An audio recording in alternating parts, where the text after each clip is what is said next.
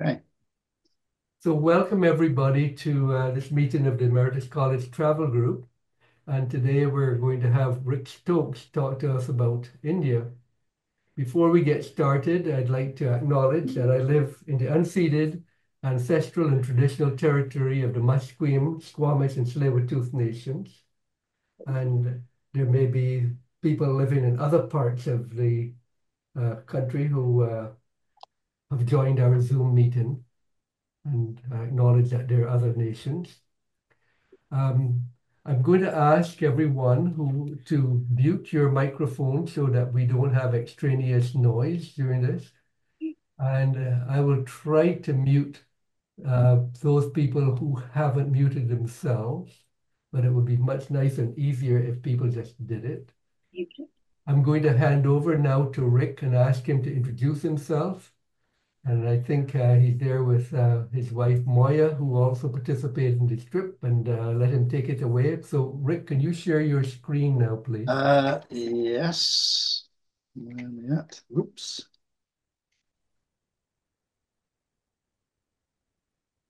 And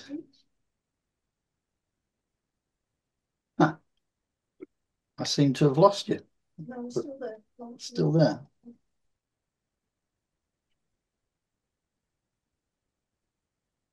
No, obviously it's gone. There it is. It's not there. I've lost you. Well, uh, it should be there. Try it at the bottom or at the top uh, where it has participant chat and anything else. I've got it now. You found it? it. Sorry about that. No problem. Right, share screen. There we Okay. go.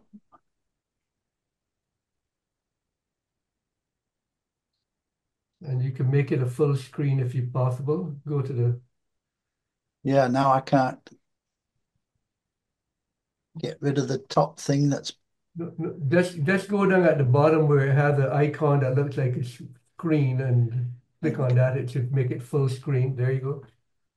that's it. Got it. Perfect. So uh, I am uh, Rick Stokes. I used to be uh, at uh, Children's Hospital at the uh, Family Research Centre there, and I'm going to be talking about a, a trip to we took to Gujarat and Rajasthan this year. So it was in February and March of uh, of this year. We spent about five weeks uh, doing two tours of of the states of Gujarat and Rajasthan in northwest India. And the first tour, which was about three weeks, uh, covered cultural aspects of the area. And uh, I'll be covering some of that, talking about the numerous cities, towns, temples, stepwells, forts that we saw.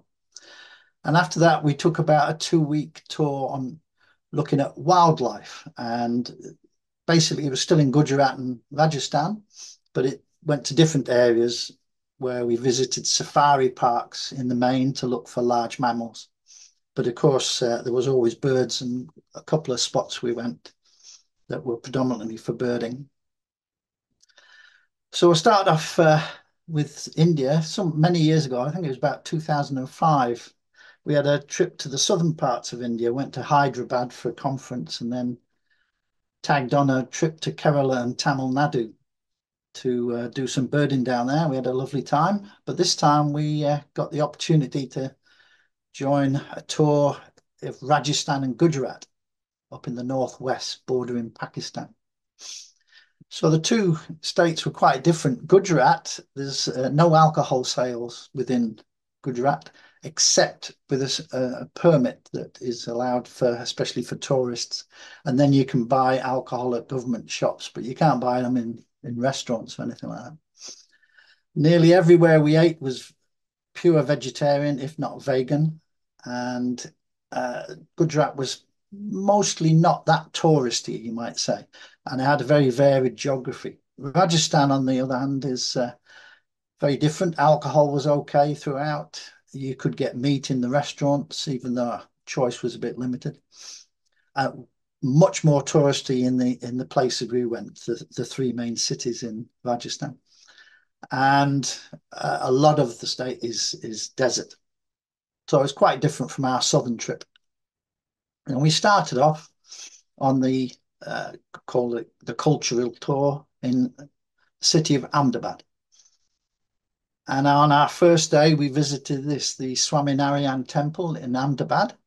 Quite the beautiful thing, and uh, you probably can't read that, but there's a every temple we went in, Hindu temples we went in, there was segregation of the ladies and the gentlemen. We went into different areas of the temple. And our, our tour, there was, uh, can't remember, I think it was five ladies and me, the only male, and the guide was male. So we kept separating in the temples. So the Swaminarayan Sampradaya, uh, which was what this temple was connected to. It's a Hindu Vaishnava Sampradaya, and you have to excuse my pronunciation of, of Hindi words. I'm obviously not a local. But uh, Vaishnava meant that they consider Vishnu as the supreme deity, and Sampradaya just means tradition or sect. So uh, the Swaminarayan Sampradaya is, is just one of the Hindu sects. Uh, Vaishnavism is very common in Gujarat. It's their Vishnu's their favorite deity. The particular Swaminarayan Sampradaya is characterized by the worship of uh, the founder, who was called Sahad, Sahajanand Swami, but better known as Swaminarayan, and he lived from 1781 to 1830. That he's considered an avatar of Krishna or of Vishnu, Vishnu's 24th name, which is Purushottama. So uh, that particular Sampradaya considers him a, a, a, deity, basically. And that the temple in Ahmedabad was the very first one to be built. Or now, now there are several throughout uh, Gujarat and other parts of India. Inside, absolutely gorgeous, like all the temple, Hindu temples. This one was predominantly uh, wooden structure, uh, beautifully carved and painted all sorts of colourful bits and bobs. Really nice. We also wandered around the city, Ahmedabad, and uh, throughout we saw these um, very large uh, um, sort of constructions that were basically, they were bird feeders that had been set up. They're called chabutros. And they're, they're found throughout Ahmedabad and Gujarat. We saw them elsewhere as well. And uh, there's there's great respect and care for animals throughout Gujarat, and it's consistent with a vegetarian diet. And as we wandered around, there was these street scenes we came across, and lots of street wildlife. So here's the, the first bird. He's a, a house crow, very common in India throughout, and it's the equivalent of our American crow or northwestern crow. And you can see also that they build their nests in uh, any location they can find around. Also, there's lots of dogs in the streets. They're mostly feral. Uh, some of them are domestic dogs, but mostly they're feral.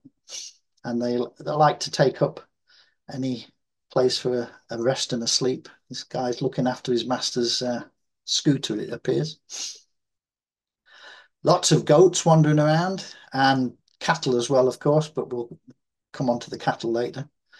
And they're helping themselves to any food they can find. In Ahmedabad, we also visited um, a mosque, the Jama Masjid, which um, translated Friday Mosque. And it was built in 1424.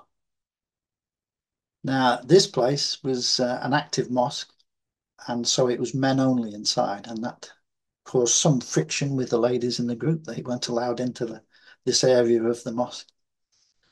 And it was typical of the mosques we visited, lots and lots of pillars.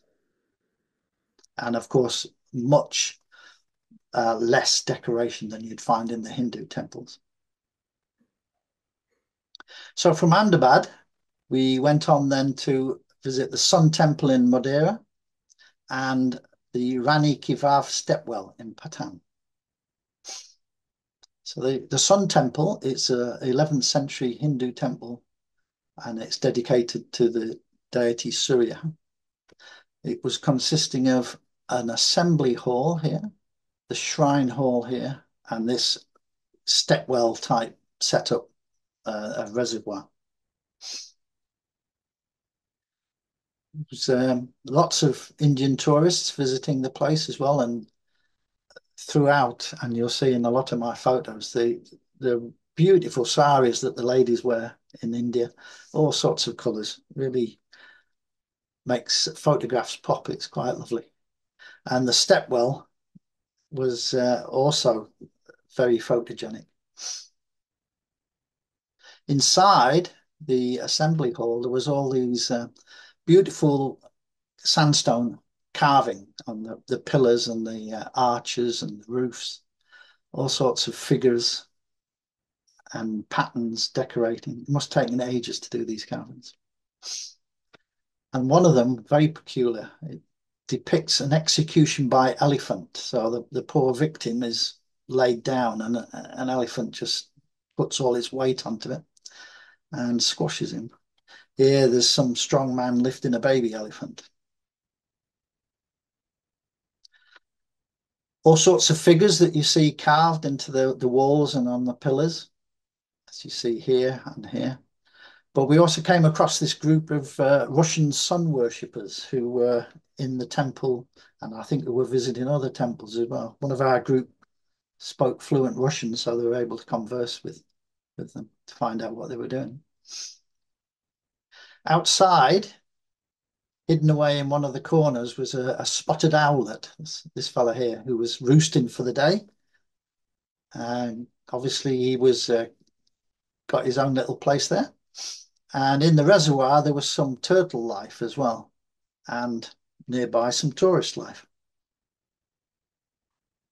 Again, some nice shots of the Stepwell Reservoir with the beautiful saris this chap here. The men men folks don't wear such colourful clothing in general, but uh, this guy had a nice yellow shirt on. After that, we then went on to the Rani Ki Vav. The, it's called the Queen's Stepwell. It's 11th century construction, and it's in the town of Patan on the banks of the Saraswati River. It had been silted over for a long, long time, but uh, was rediscovered in the 40s and finally finished restoring in the 80s. Uh, it was designed as an inverted temple and divided into seven levels. And the sculptures all over the walls and the, the pillars, about a thousand minor and 500 major sculptures with all sorts of religious, secular, symbolic imagery. So you can here see uh, four levels of the seven level stepwell. And you can see the carvings in the walls. Get a bit closer and we can start seeing some of these figures that are in the carvings. Here, a dancing lady, here a god. I think that's uh, one of the manifestations of Shiva, I think. Again, some more dancers, gods. And more here. All, all done in sandstone in this um, stepwell. So after that, we moved on to a, a town called Bhuj. But whilst we were driving there, we came across this Jain temple en route. Uh, Jainism is is one of the Indian religions, uh, similar to Hindu in many ways, but they have some major differences. One being that they believe the universe has always been there and always will be there. It was not created. So they're a bit more like cosmologists, I would say. But some absolutely beautiful carving in this uh, honey-coloured sandstone, uh, some of which is um, painted black.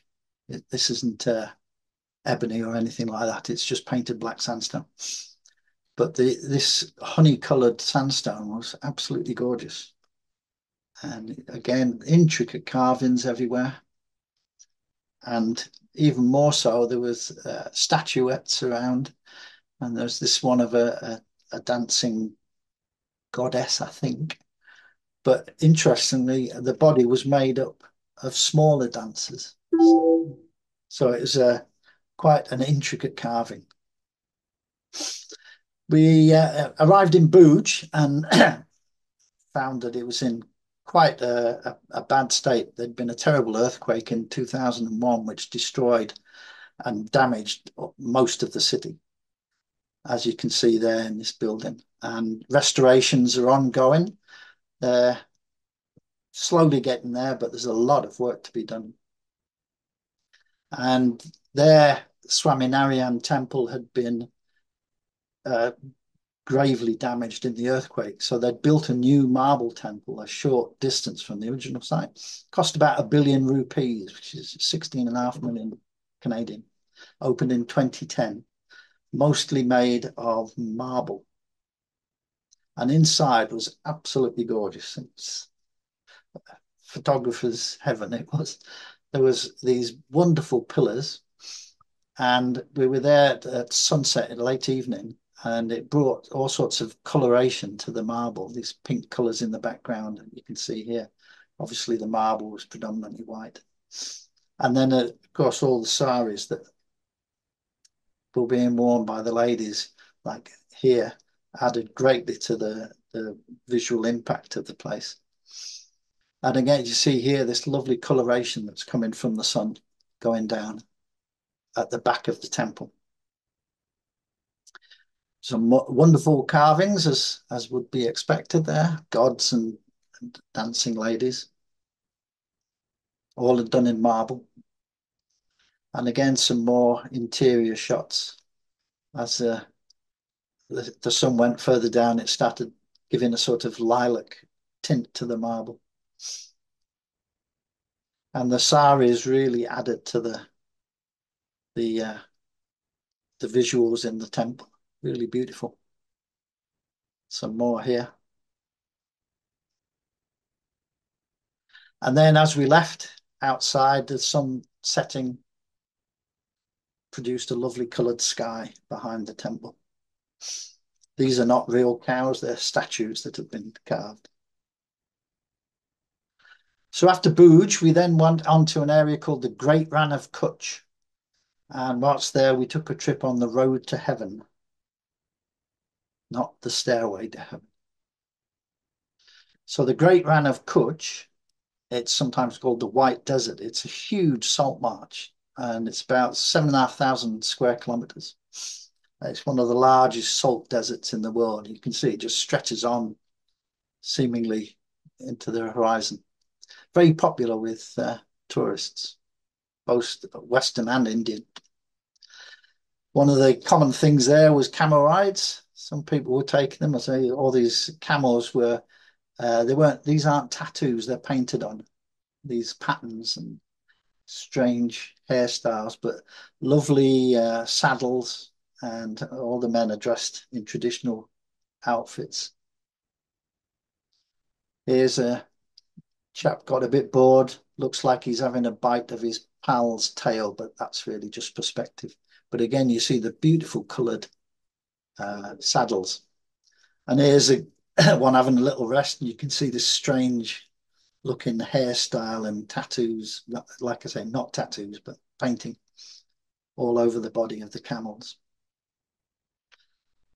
So the road to heaven, it, it's a highway that spans about 30 kilometers through the Great Rann of Kutch, and it gives you a great view of the uh, salt plain construction began in 2019 and it was still ongoing as we drove it. There was a lot of roadworks uh, slowing things down. As you can see here, it's just expanse of, of salt on either side of the road. Quite uh, an amazing sight. And strangely enough, there was quite a significant flock of juvenile greater flamingos that were present there. And they're able to um, live in these areas. I mean, throughout the world, you see them in Africa as well, where they live in these very salty um, areas because they're so tolerant. They their legs have very thick, scaly skin, which is um, isn't burnt by the salt that our skin would be, and they're able to filter out salt as they uh, feed on the brine shrimp. From there, we went to a town called Mandvi, and that's uh, it's on a coast. Uh, and it's got a 400 year old shipbuilding centre there that we visited, where they build these large ocean going dhows. You can see how large this is by scale to the, the motorbike.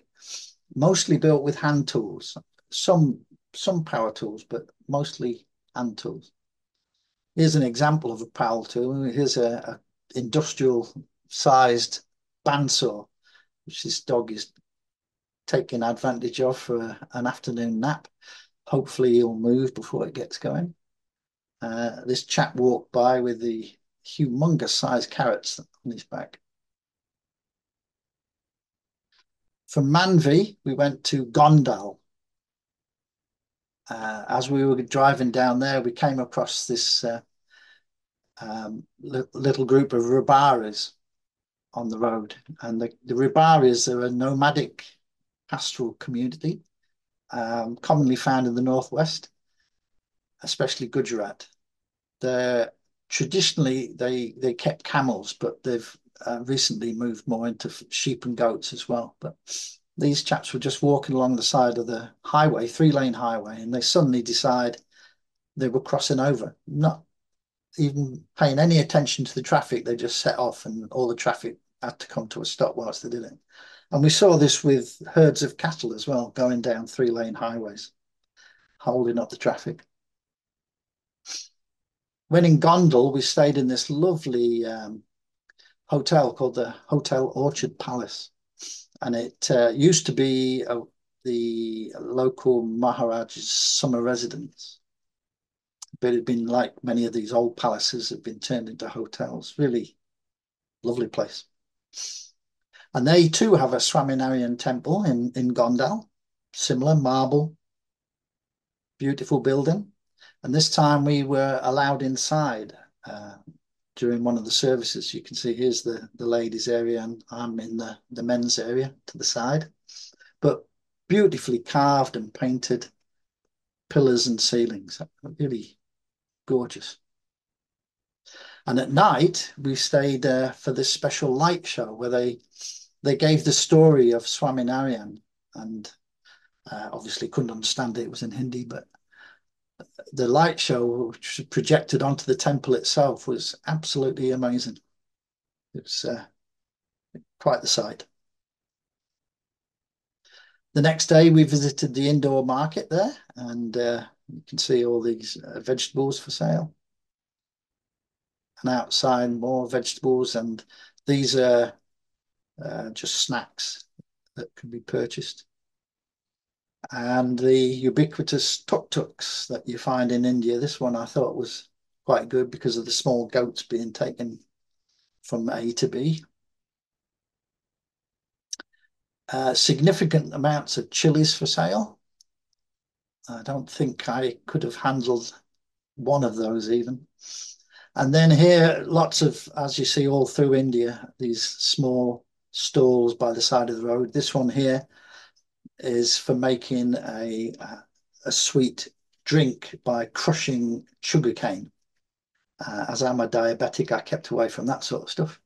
And here you see these single servings of snacks and all sorts of things wrapped up in plastic pouches. And it, it leads to one of the major problems in India, the, the amount of plastic waste that you see on the streets and everywhere in the towns. It's quite unsightly. Wandering around town, we came across this lovely shot of three dogs looking like they were set up for the Olympics, gold, silver and bronze, best in show.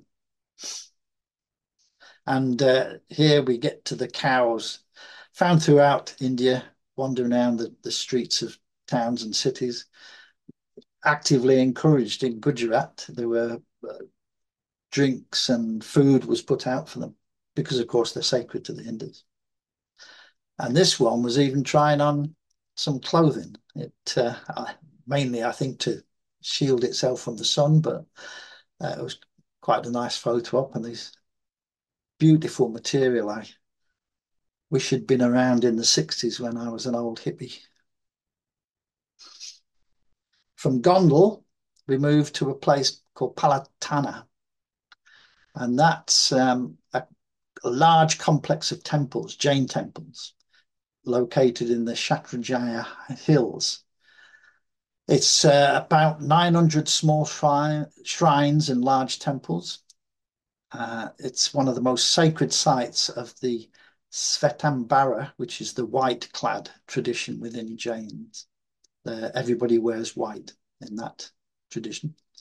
The members are expected to make a pilgrimage to this site at least once in their lives.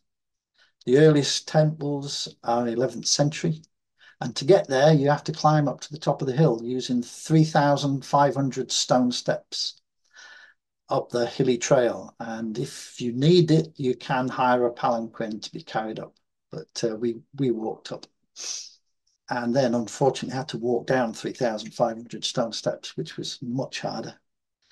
Recently, they've banned photography completely within the temple complex, which was a great shame. And it, the, the story that explained this was that there'd been a theft of jewels from one of the temples, but how that meant you had to stop photography was a bit of a mystery. So anyway, couldn't get any photos in there, but managed take a couple on the way up. And this was some of the 3,500 steps. I was zigzagging up them to make it and was constantly being overtaken by little Jain nuns who were skipping up the steps at a rapid rate. But you can see how steep it was towards the end as well. From Palitana, we moved to Santrampur, where we stayed in the best hotel of the trip, the Sri Joravar Villas. It was beautiful, sort of semi-decadent and distressed looking place. It was really wonderful. Sited on a, a lake, you see the hotel here. And on the lake was a couple of mugger crocodiles. And one of them was out basking in the sun. So they have a, a little boat that they took us for a, a, trip around the lake to look at the crocodiles. And then just here, there are a load of streak-throated swallow nests which uh, I was just taking a show, shot of, and this pigeon photo bombed me. So it looked all right, so I kept it. Nearby was the Raj Mahal Palace in Santrampur, uh, owned by the same people who owned the hotel. And they're hoping to uh, restore it to become another hotel. But it looked like it needed a lot of work, even though it's still, again, in a sort of distressed look. It uh, still quite beautiful in many ways. You can see here, still all this lovely carving that you can see. So from there, we moved on to Rajasthan. We flew up to Jaisalmer, the Golden City, and then a trip to Jodhpur, the Blue City, finally Jaipur, the Pink City. Jaisalmer is the Golden City, it stands on uh, yellow sandstone and uh, its predominant feature is the, the fort. It's got a royal palace and lots of temples and residences. Houses of the temple and the temples of the fort and the town are in this yellow sandstone, hence the name Golden City. The town's in the heart of a desert, the Thar Desert. Uh, it's got about 80,000 population founded in 1156 by Jaisal Singh, and that's how it got its name from Jaisal and Mare, the Mare meaning fort, so it's the fort of Jaisal. The fort palace, uh, we went one sunrise to get some shots of the fort palace, which is next to one of the main gates entrances.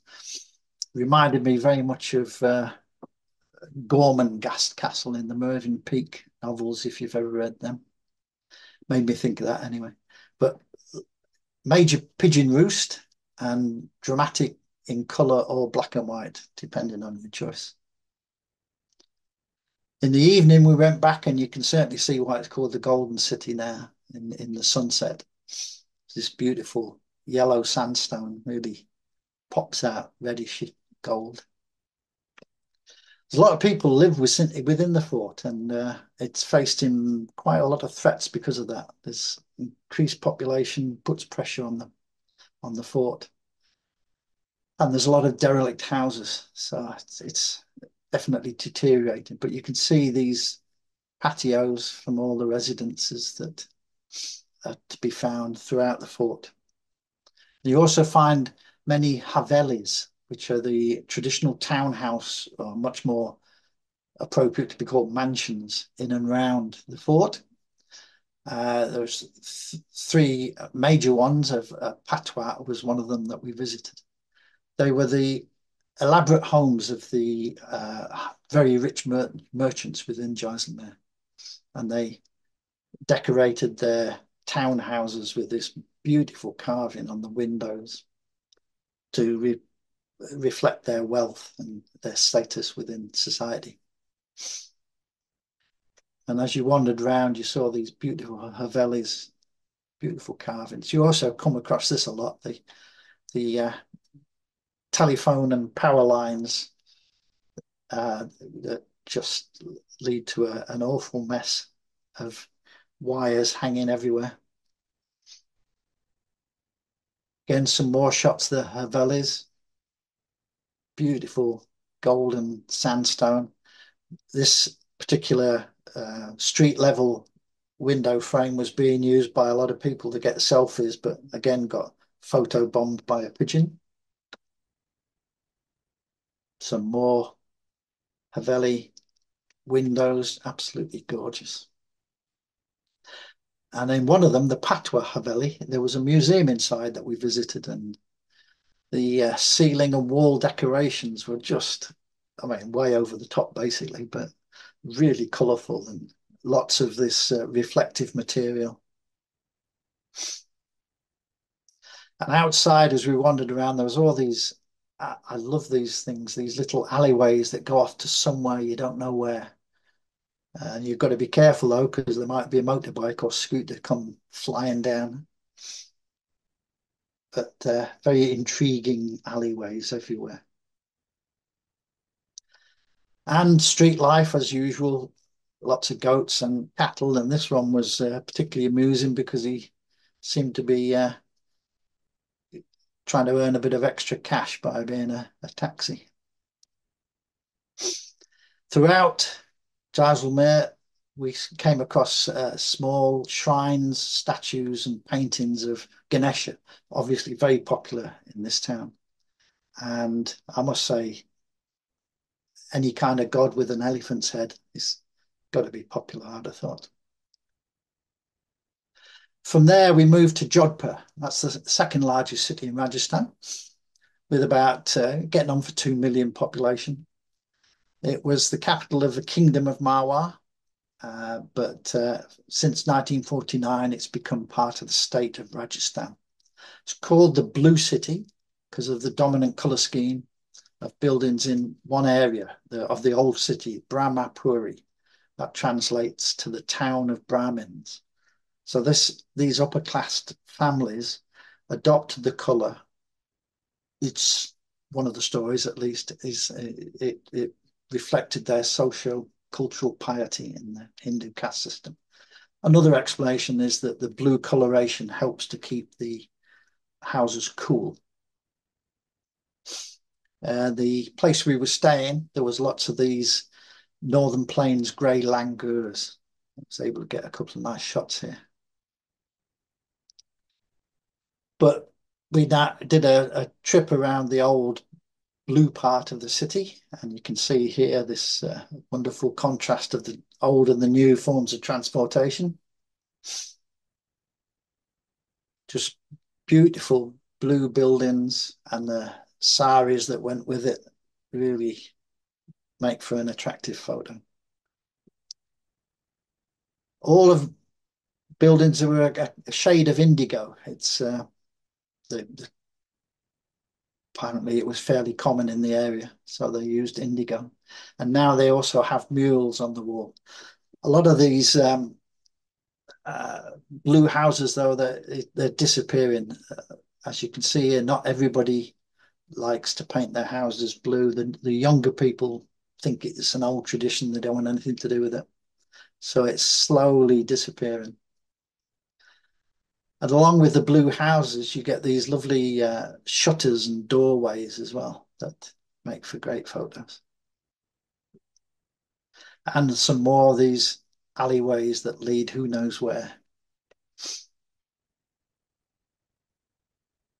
Also in uh, Jodhpur is uh, was a major stepwell, the Toorji Ka Jhalra stepwell. Quite steep that uh, no way I was going any closer than where I was getting this photo. Certainly not going down like this fella did. Nearby was a, a market called the Clock Tower Market where they were selling all this beautiful, colourful material. And of course, there's the Mehrangarh Fort, which dominates uh, the, the scenery. Again, looking very Gormenghast in its uh, sort of size and old oldness. Again, beautiful carvings everywhere and massive walkways, probably for horses and perhaps even for elephants.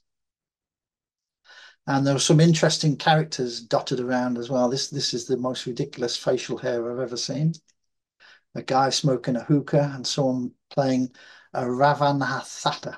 Ravanahatha. I think that's how you say it which is a member of the violin family.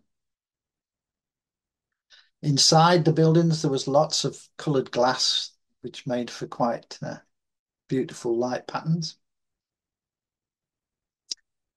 We then went to Jaipur, uh, the, the capital of Rajasthan, largest city of about 4 million. It was founded in 1727 and then became the capital in 1949. It's got two World Heritage Sites that we visited, the Amer Fort and the Jan Jantar Mantar. And then, of course, there's this much photographed Hawa Mahal, the Palace of Winds.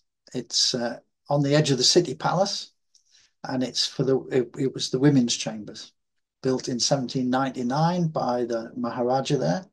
It's got 953 small windows with intricate lattice work so that this allowed the royal ladies to look at everyday life and the goings on down in the street, but without being seen by the the uh, the riffraff.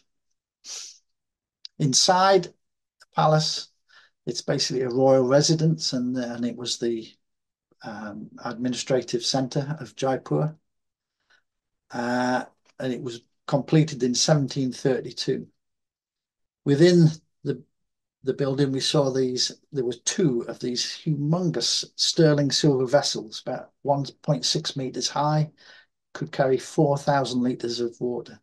And it was for the uh, Maharaja, when he visited Edward VII's coronation, he wanted to take Ganges water for, for drinking.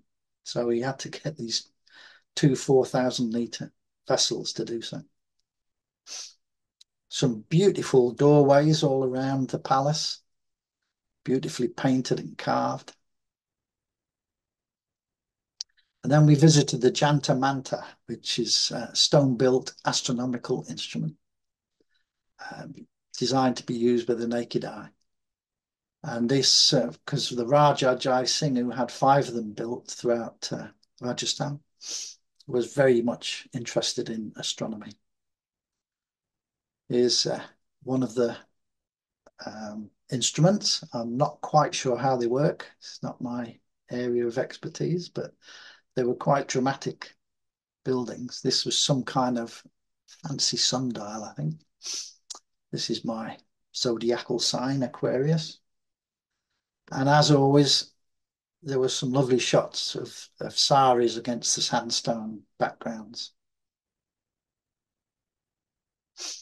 We also visited the Amer Fort. Uh, that's about 11k from Jaipur. It overlooks the Maota Lake and it's uh, quite a, a, large building.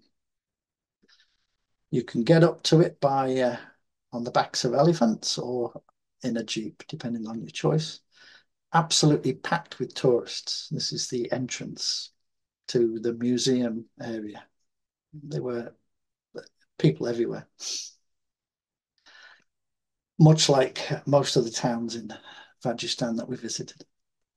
Part of the uh, in, inner palace was this uh, Jai Mandir, also called the Mirror Palace.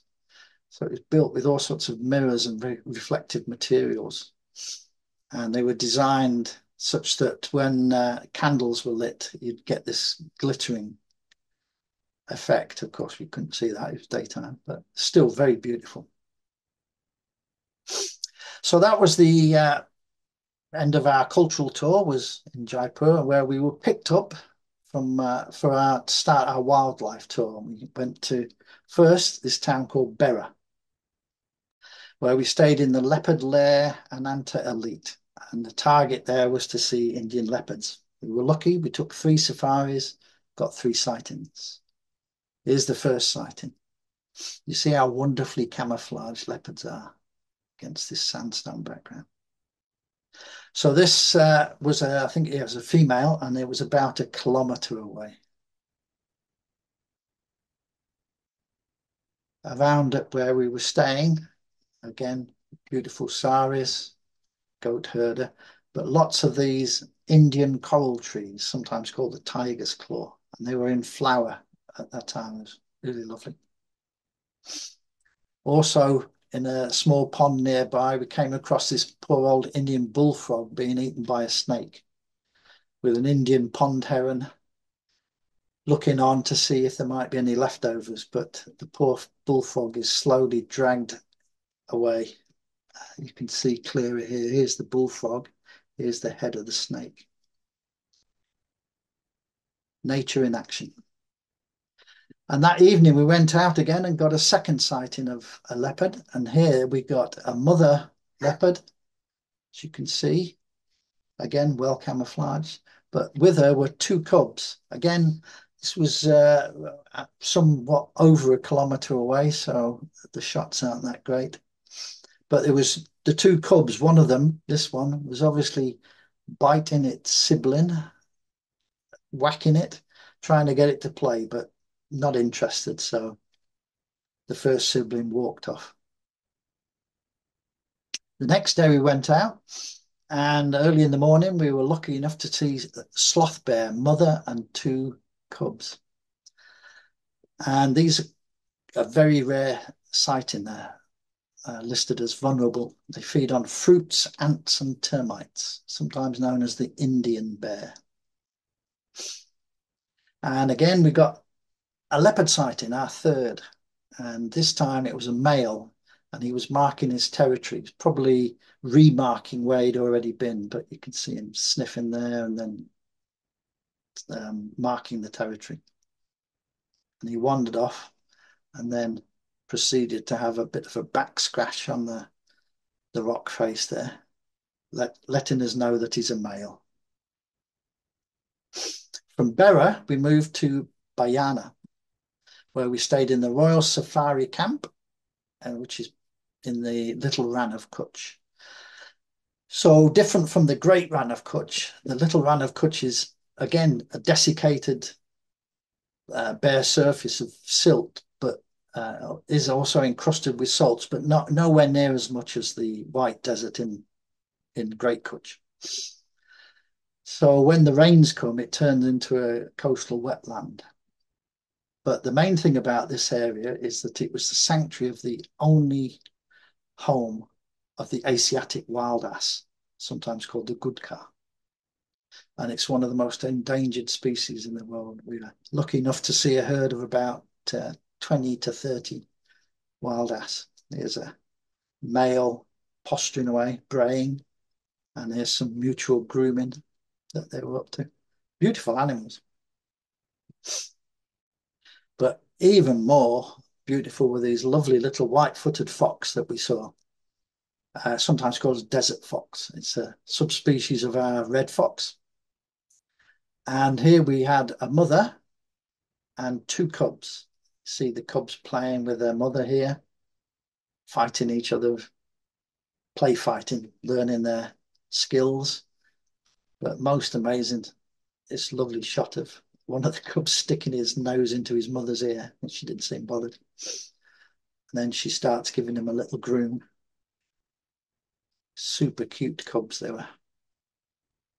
From there, we went to a place called Moti Virani, uh, where we stayed at the CEDO camp, Centre for Desert and Ocean.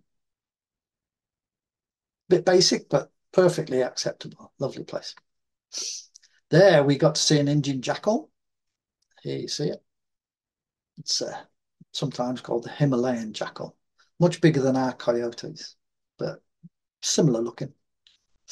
But again, very lucky. Saw a Bengal fox with cubs, Now, how do I hear here? Sometimes called an Indian fox. First of all, you mute your mic. And here you see the mother and a absolutely cute little cub poking its head out. Even having another groom. He didn't seem to like being groomed, so they had a, a, a small disagreement with his mother, which of course she won. Then we found out he'd got a little sibling, so there was two cubs there. And then a third one popped out. So we had three cubs. Absolutely gorgeous they were. From there, we moved on to a place called Gir, and we were staying in the, the Gir Birding Lodge here. Yeah, there's our room, very nice. And that was because we were visiting the National Wildlife Reserve and Park, very popular with Indian tourists because that's where you see the wild Asian lion. But it was uh, a bit ambivalent about the the place. It's highly regimented paperwork to delay your entrance. It took about 30 minutes to get things sorted, which included paying a really excessive camera fee for any real camera, you might say, as in not, not a phone camera, because they were saying we were professional photographers, so we needed to pay a lot of money to them. And they also provided us with an unnecessary guide. We already had a guide the driver of the Jeep was much better at spotting and identifying birds than was the, the, the su supposed guide. We had to correct him on his idea of birds more than once. But they found us lions, as was expected.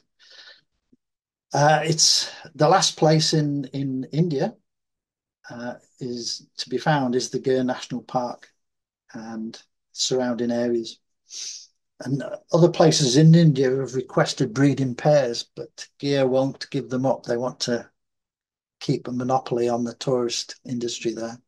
So we're lucky enough to see two young lions here uh, with a kill.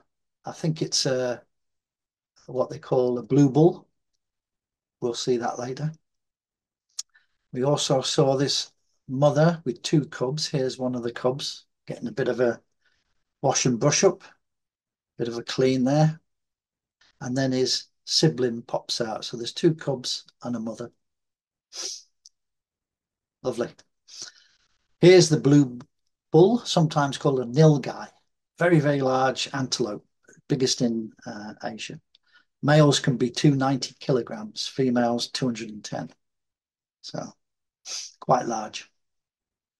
Lots more of these, the chital, uh, spotted deer, there's lots of those around.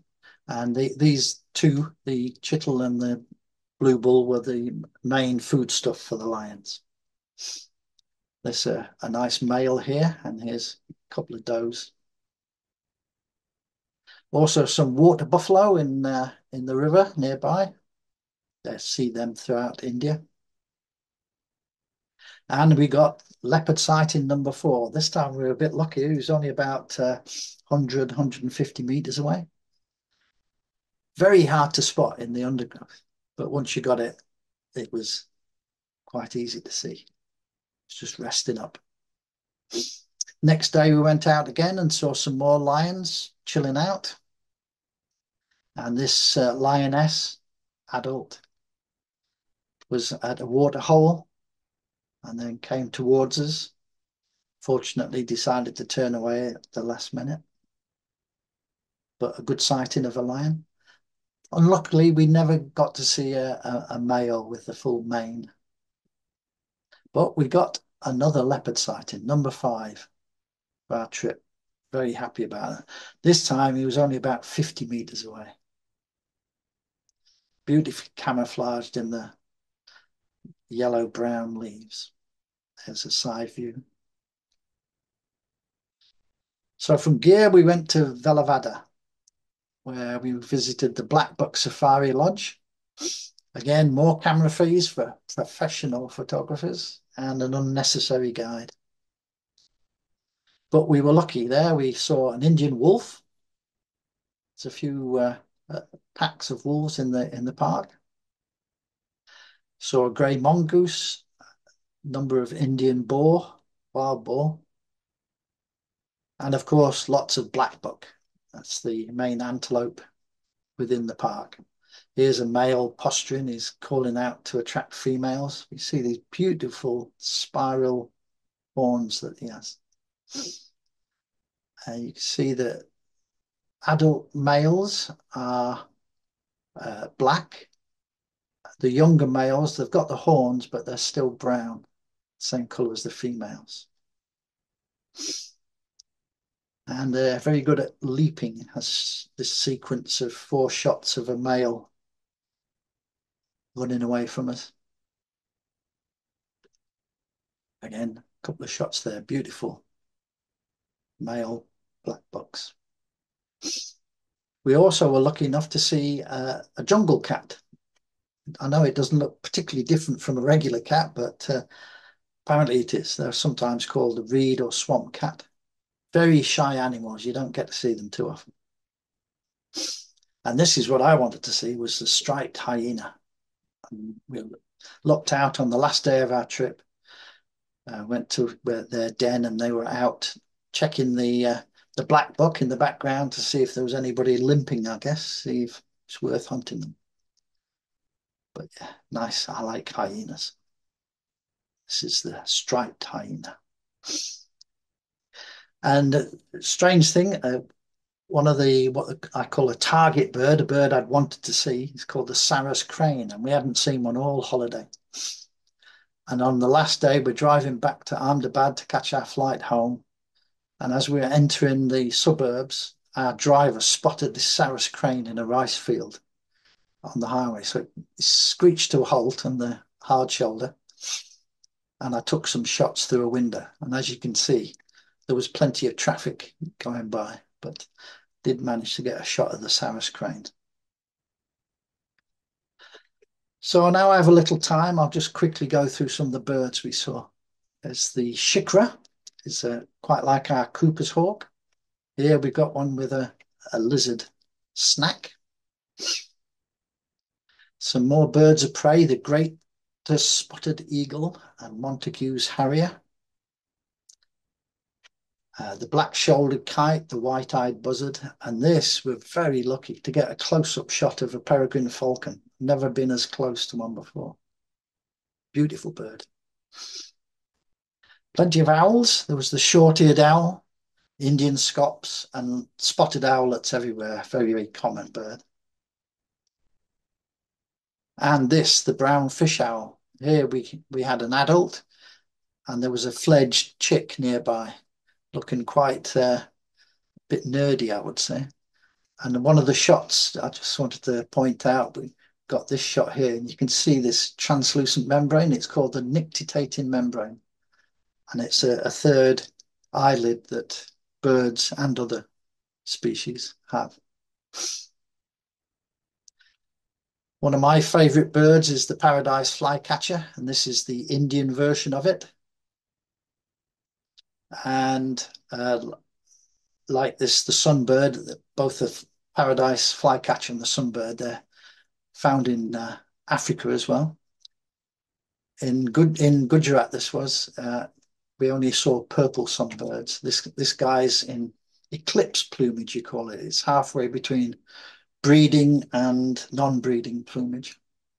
But you can see the bill there for feeding on nectar from the flowers.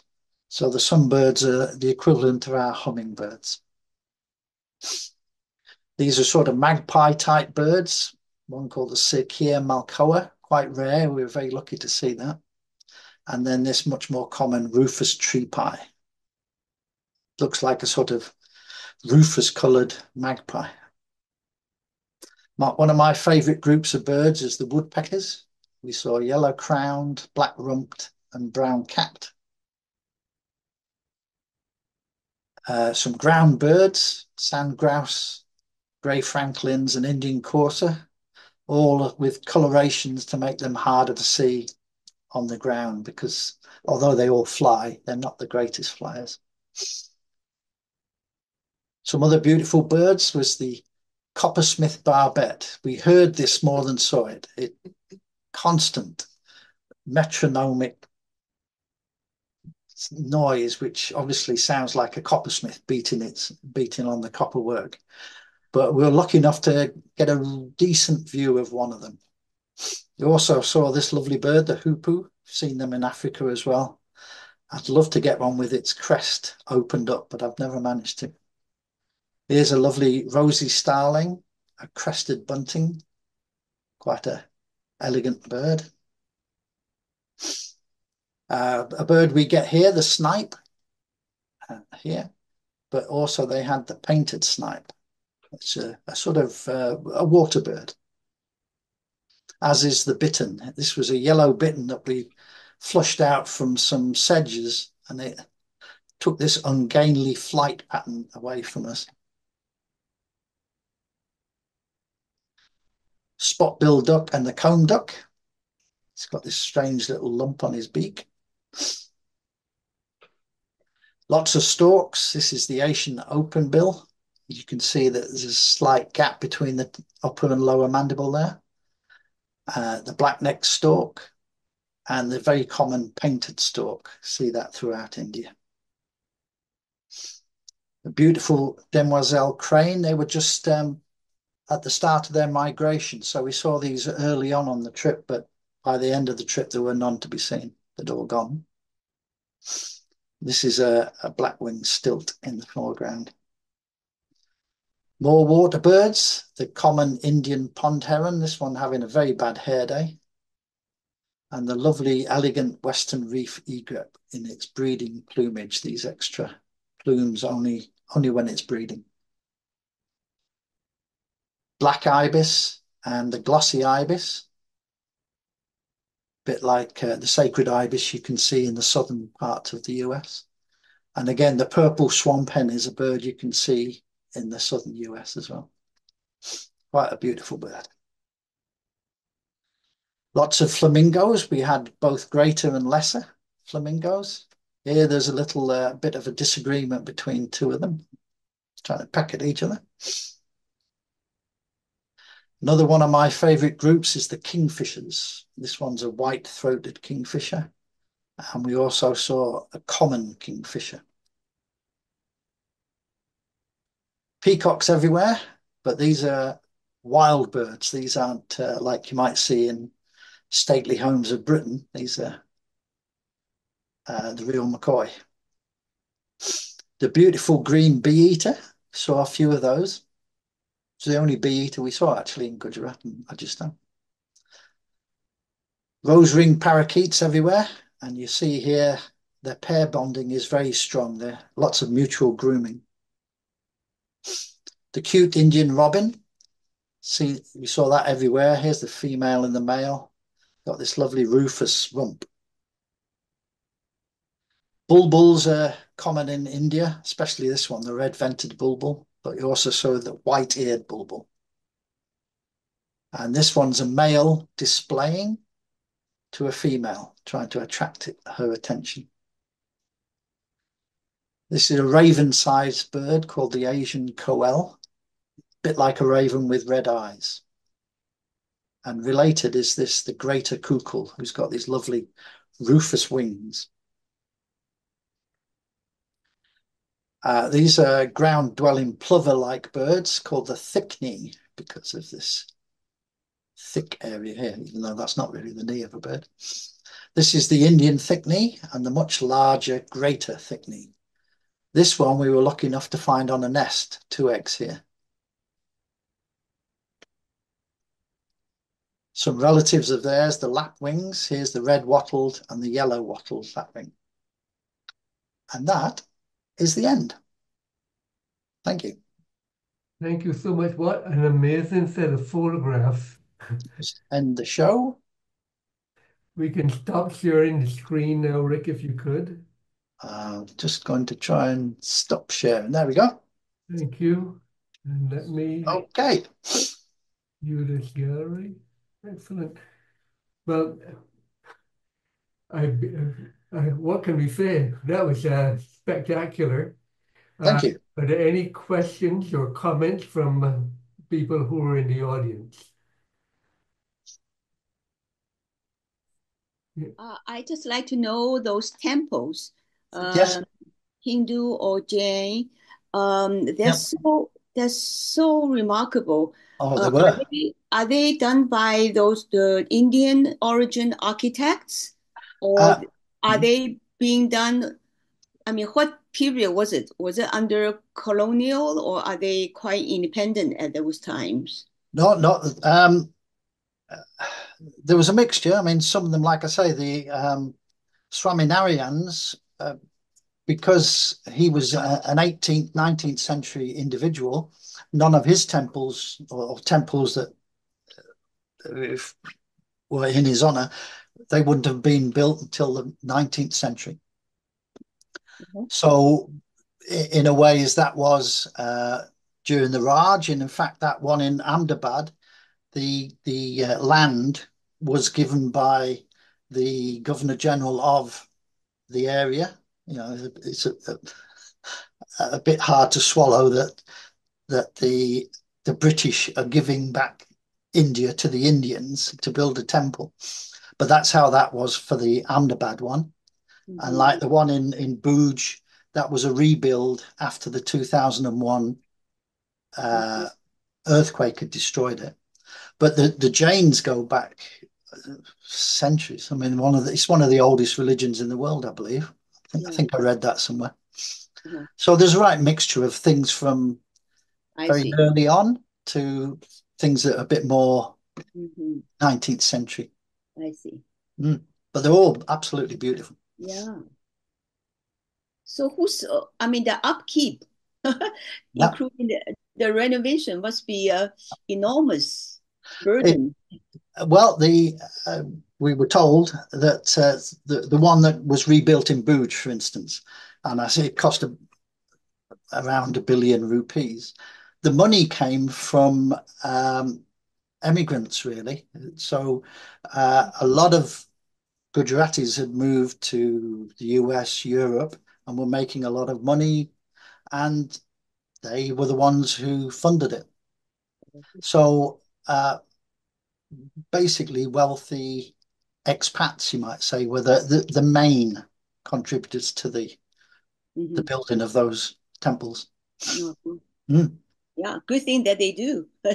Yes, yes, and they, I mean, the it it it's perhaps like um, some of the European cathedrals. You see them and you think Mhm. this amount of wealth in the midst of poverty. Yes. You go, is this a good thing or a bad thing? But I mean, there's certainly beautiful buildings. Mhm. Mhm. So, and it- there's so many worshippers were using them. So obviously, it's a, uh, a, a, a of major importance to the the local people. I see. Remarkable. Yeah, they were. Mm. Any other questions, comments? Um, could you talk about how you arranged your tour, Rick? Uh, I could, yeah. Um, so the the cultural tour, so called, that was all arranged by someone else uh, within the group. One one of my wife's uh, um, member of the hiking group had set up this uh, tour, and two people had pulled out. So we we came in to fill the gap at the the last minute, and so that's how we got onto the cultural tour. We did basically had not much to organise for that at all. Uh, so because we were doing that, I then wanted to add on a, a wildlife tour. I wouldn't want to go anywhere in the world without having a wildlife tour of some sort. So that's um, I just tried to follow the company that I'd used for our Southern India tour. Found they'd been taken over by a much larger company and just used the larger company and all set up over the internet, very easy. And they were wonderful. They were just as good as the the the smaller company that they'd taken over. Very well organized, and so uh, that was basically all I had to do. You just had to sort out, um, tell them what you wanted to see, what kind of animals and birds, and they would then suggest places. Uh, I'd look them up to check that there were going to be leopards because that was my main target mammal. Mm. And that's how it went. Yeah, we, we never bothered with the tiger sanctuaries, which they thought was a bit weird because everybody wants to see tigers in India, but I didn't. I wanted to see leopards. Thanks. Yeah.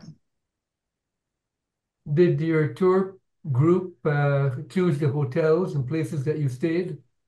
Yeah, so the in both of them. So for the the cultural tour, that had all that was all sorted by um, a woman who was from Britain who had been uh, uh, hired, you might say, to to set things up, and she went through an Indian company, mm-hmm. which she uses. She's a, a, regular visitor to India. She's uh, absolutely loves the place, and actually her marriage. She she got married in India, flew all the way from Britain to India to get married. So she set it up through an Indian company, and they arranged all the the accommodation, the uh, the bus that drove us all around. We had to organise the internal flights that we needed, and then the wildlife. Yeah, I once we sorted out what we wanted to see, they arranged all the accommodation, and that that was a bit of a mix. There were some really nice ones that I showed uh, of the safari lodges and that, but there was one or two of the places we went mainly for birds. They were a bit rough, but but nothing as rough as our Ethiopian experience. So yeah, you win some, you lose some.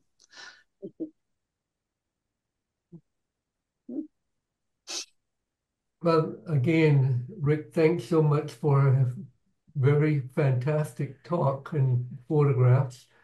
And uh, this ends our uh, travel group meeting for this year. We are not having anything in December because we're approaching the holiday season.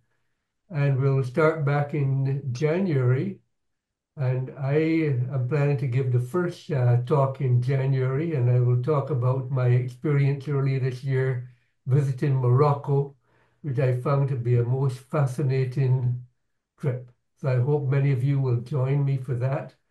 Um, the date and everything is already on the um, UBC Emeritus College website. And I think you'll see also the upcoming uh, sessions in February and March. If it's not there already, it will be there soon because it's being sent to the office or put in on the website. But thanks for all of you who've attended. Again, thanks, Rick. And we'll see you in January and hope that everybody does well and has a great uh, uh, holiday season. So thank you very much. Thanks. Excellent. Meeting.